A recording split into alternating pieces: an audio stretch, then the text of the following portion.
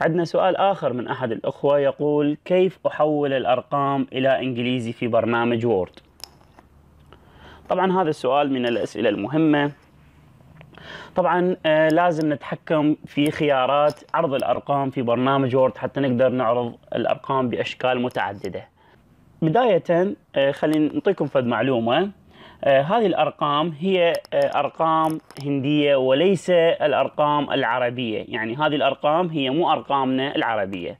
أما الأرقام العربية هي آه هذه الأرقام اللي هي المعروفة حاليا بالأرقام الإنجليزية. طبعا هي نفسها أرقامنا العربية الأصلية.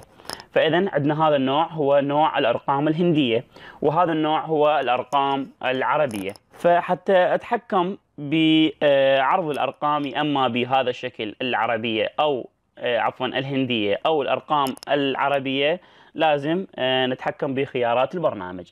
طبعا من خلال ملف خيارات وخيارات متقدمة وعندنا هذا السلايدر نخليه بالمنتصف تقريبا وعندنا هنا الأرقام. الأرقام طبعا عندنا خيار هذا الخيار. سهم يا أما تكون عربية يا أما تكون هندية يا أما تكون سياق يا أما تكون نظام. فيما يخص نظام طبعا راح تكون default افتراضية مثل ما نظام الويندوز محددها. أما الخيار عربية موافق. عربية راح تكون كل الأرقام بهذا الشكل مهما كانت اللغة. سواء كان اللغة عربي أو اللغة إنجليزي راح تكون الأرقام بهذا الشكل. فيما يخص الخيار الآخر من خيارات متقدمة آه هذا السلايدر نخليه بالنص.